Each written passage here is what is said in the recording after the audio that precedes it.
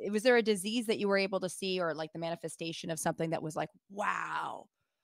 Yeah, uh, parasites are probably one of the best things to to look for in a necropsy because they're everywhere. It's really hard Ah! to find just an organ or a part of the body that does not have a parasite in it of some kind. Um, I have videos from my fir m the my first attempt at a PhD was doing a lot of necropsies because we were a parasitology lab, so looking Ah. for parasites in fresh freshly euthanized animals was a big part of what we did, and I have videos of jars, you know, this big full of liquid with like, you can't see the liquid. It's so full of, um, nematodes, the long little wormy Oh, guys. yeah. It's just jam-packed with them, so you can't you can't see the liquid, you can't see the other side of the jar.